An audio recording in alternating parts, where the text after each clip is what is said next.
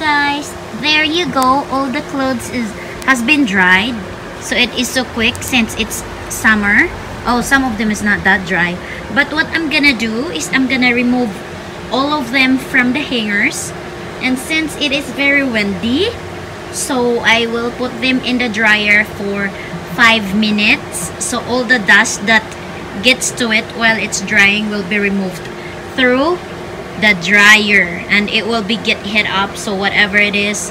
So this since the skin of the baby or the kids is not that strong yet so I'll just make sure he doesn't get a lot of dust on his skin and get itchy.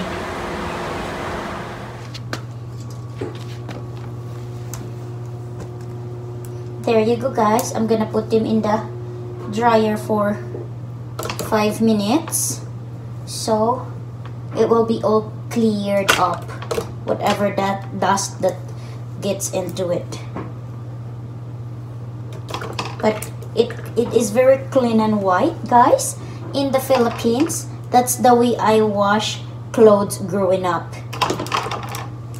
See some of you maybe won't understand or cannot really relate to the way I washed it but that's just the manual style in the Philippines since I grew up without any washing machine and I was been working and this is one of my job washing clothes.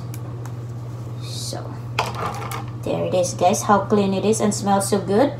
The fabric softener makes it so soft and smells so good and fresh. But since it was been dried and outside that's why I'm gonna put them in the dryer for only 5 minutes. Thank you all for watching. Bye.